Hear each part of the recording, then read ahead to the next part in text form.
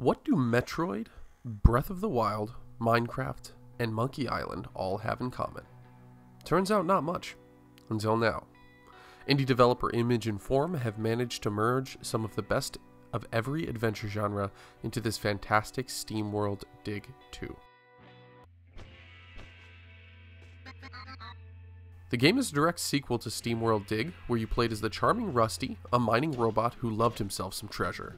This time around, you play as his loyal friend, Dorothy McCrank, whose mission is to find the missing Rusty.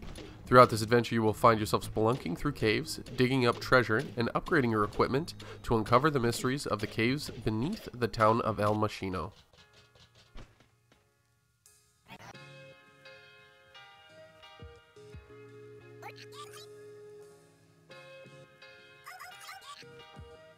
So what does this game do right? Well, if you're a fan of the original, you will quickly find yourself at right at home with the dig, collect, sell, upgrade nature of the game. But Dig 2 has managed to make this process more addicting than ever. At first, when I sat down with the task of describing why this game has hit the perfect note, I found it difficult. However, as I thought about it, I realized the core principle that continued to drive me forward was the same alluring nature of the Game of the Year contender, The Legend of Zelda Breath of the Wild. In Zelda, a player is tasked with adventuring across a wide open environment and using the clues of the environment to solve puzzles and find mini dungeons called shrines. This is echoed in the cave system of SteamWorld Dig 2, where the path you dig will dictate the ease of your adventure and what secrets you may find.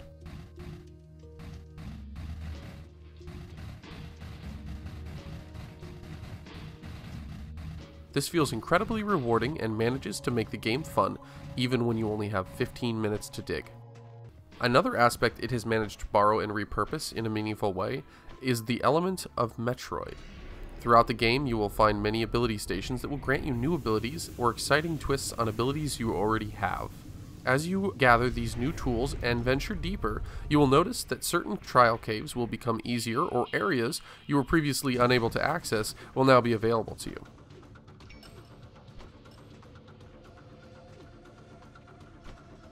Additionally, there is a very in-depth upgrade system that can be purchased with money acquired by the sale of rare minerals and gems found throughout the mines.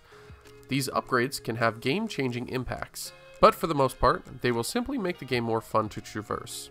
For me, this kept me constantly coming back for more and flying through to the appropriately satisfying conclusion. I won't spoil anything in this review, but the final boss is equally parts fun and challenging, and how thorough you were will determine some of that success. Now for the parts that it doesn't quite nail. Don't worry, this section will be quite short. First, this game is fairly short. It took me approximately 9.5 hours to finish the game with an overall 66% completion. While this is actually longer than the first game, it is a bit of a disappointment since the game is handcrafted and not procedurally generated like Dig 1. Secondly, I feel like some of the smaller bosses are not as memorable or as unique as they could have been. With that said, the game is wonderful and I will be playing it for a long while, still hunting down every last gem and secret until I 100% complete it. This is why I'm awarding SteamWorld Dig 2 with a score of 10 out of 10. I believe that while it's not perfect, it accomplishes one extremely important thing that many games don't. It's ridiculously fun.